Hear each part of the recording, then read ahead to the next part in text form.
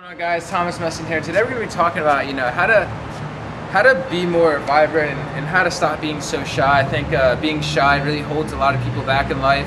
Not speaking up when you should or not uh, talking or talking to someone when you should or not just speaking up what you truly feel. And a lot of people are very shy. A lot of people are scared to talk to people.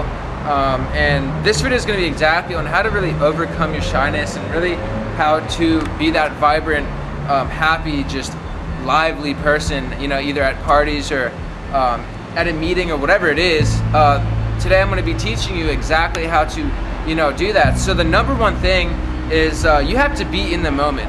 All right. So many people when they're shy, they're in their head, they're trapped in their head, and they're thinking of, oh, what is he gonna say if I say this, or what is she gonna say if I say this? What, what, you know, you're constantly just trapped in your head, and you're just thinking too much.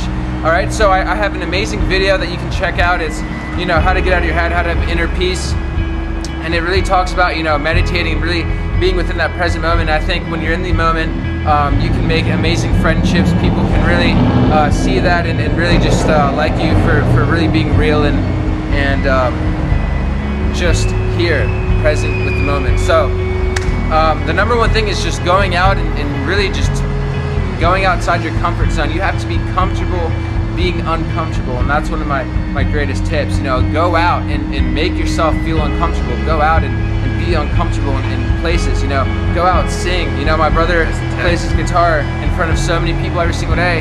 At first it was you know he didn't he was very uncomfortable doing it. You could see in his face. You could see it when he was singing. He didn't sing as best as he could but he was out there and he was trying all right? And he was out there you know being comfortable with being uncomfortable. So guys you know, start speaking up, start speaking up with things.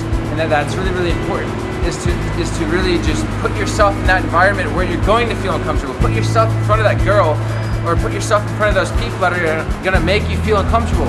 Um, so that's my greatest tip is just to be comfortable, being uncomfortable, go out, have fun, have fun, and have fun. All right, guys, peace out.